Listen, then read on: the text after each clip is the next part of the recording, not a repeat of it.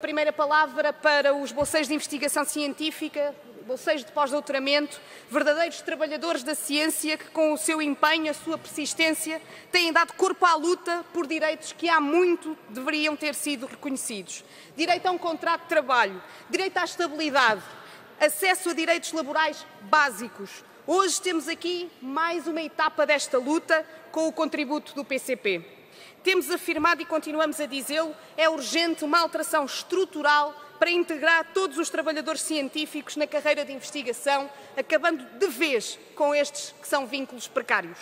Caminhamos a passos largos para agosto de 2018, fim do prazo da norma transitória do Decreto-Lei 57 de 2016, alterado por exigente processo de apreciação parlamentar na Assembleia da República, processo para o qual o PCP muito contribuiu.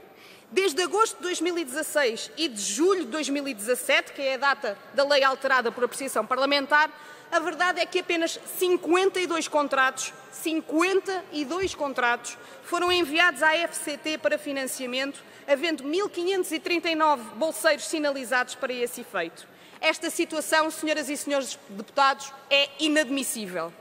Além de várias manigâncias que agora algumas instituições se lembraram de inventar, tentando que os contratos a realizar sejam feitos por associações de direito privado com as quais os bolseiros nunca tiveram qualquer relação ou atividade, como é o caso do IST-ID ou da, da, da Faculdade de Ciências ID, em clara violação do número 2 do artigo uh, 23º, acresce um outro problema muito grave que é a perda de rendimento de vários bolseiros de pós-doutoramento cujos projetos e bolsas cessaram ou estão em vias de cessar bem, bem sem lembrado. terem sido abertos os concursos da norma transitória. Face a esta realidade que não pode ser imputada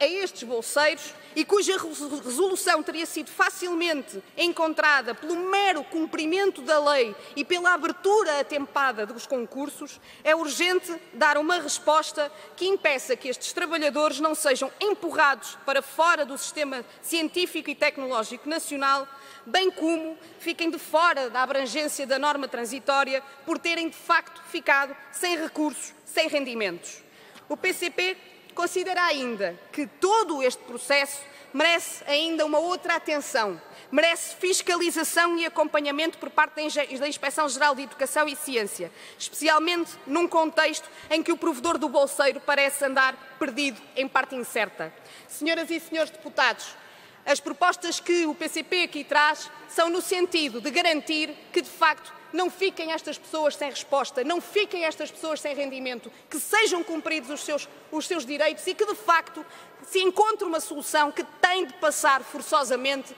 pelo cumprimento da lei por parte das instituições, mas também por parte do Ministério da Ciência, Tecnologia e Ensino Superior, de, de fazer toda, todas as diligências e de fazer com que a lei seja efetivamente cumprida. Estão aqui as propostas do PCP, naturalmente há outros projetos uh, em discussão, temos algum, algumas dúvidas que não podemos deixar de manifestar em relação ao projeto do PSD, por haver aqui algumas eh, situações de abrangência mais diversa, mas de qualquer maneira queremos ouvir também o que vai sair desta discussão hoje e estamos abertos para isso.